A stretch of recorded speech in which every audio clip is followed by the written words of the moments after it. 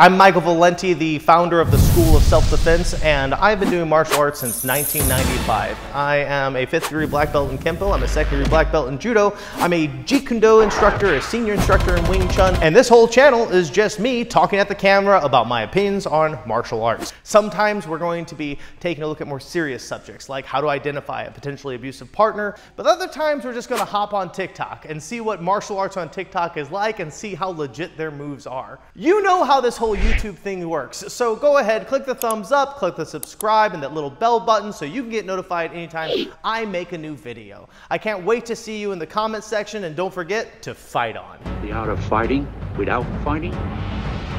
Show me some of it.